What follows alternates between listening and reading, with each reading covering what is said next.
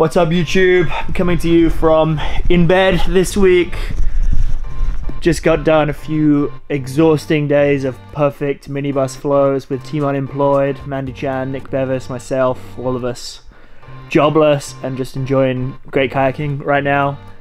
Um, I'm in bed because I'm so exhausted from just hours of surfing, amazing water levels, super warm weather, like 25 degrees, warm water. This week has been amazing. It's actually, by the time you see this, it's not going to be this week, it's going to be like a few weeks ago. But in, in my time, it's like, it's now. Anyway, I'm super tired. I'm going back to sleep. Enjoy this montage of minibus kayaking, and I will see you next Monday. Peace.